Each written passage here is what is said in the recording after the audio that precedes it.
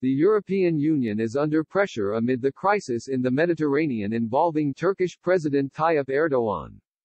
Turkey has been at the center of a crisis in the Mediterranean as tensions soar with EU member state Greece. The two countries are NATO members but have clashed with competing claims over maritime rights and border disputes. Recent hostility has involved Turkey's deployment of warships into disputed waters in August. The Oruc Reis, as well as two auxiliary vessels, were sent to search for potentially rich oil and gas deposits south of the Greek island of Kastellorizo.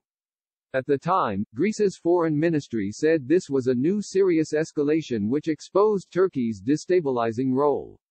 The row then saw Greece and Turkey stage rival air and navy drills in the waters between Cyprus and the Greek island of Crete. Turkey eventually pulled the Oruc Reis back to shore last month, sparking hopes that the two nations could resolve the crisis. However, Turkish officials at the time insisted the ship was only undergoing planned maintenance and that it would be returning to sea.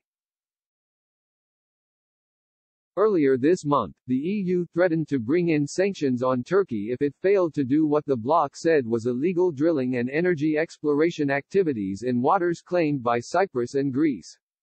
Cyprus gave the EU an ultimatum earlier this month which threatened to deepen divisions in the bloc.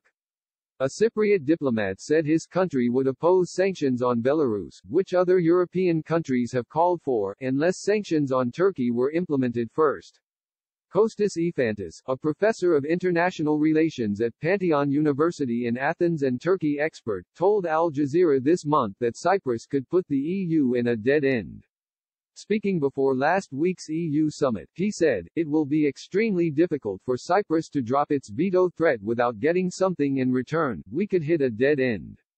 The thriller at this summit will be over Cyprus. Scandinavian countries were also angered by the deadlock to the EU's response given their proximity to Belarus. Swedish former Prime Minister Carl Bildt said, Cyprus continues to veto sanctions against the repression and election falsification in Belarus. This will become a powerful argument in favor of abandoning the principle of unanimity on issues like these. Brussels was able to hit Belarus with sanctions for repression and intimidation against peaceful demonstrators, opposition members and journalists in the wake of the 2020 presidential election in Belarus, despite the initial row. But Greek experts accused the EU of hypocrisy over the two issues.